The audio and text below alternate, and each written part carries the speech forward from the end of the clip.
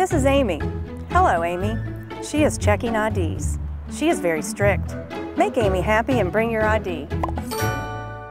This is Tim. Hello, Tim. Tim wants to drink a beer at Nest County Fair.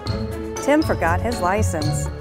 Tim can't get drink tickets. Tim is sad. Don't be like Tim.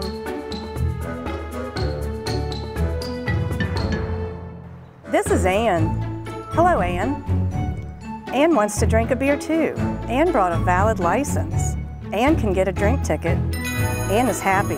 Be like Ann.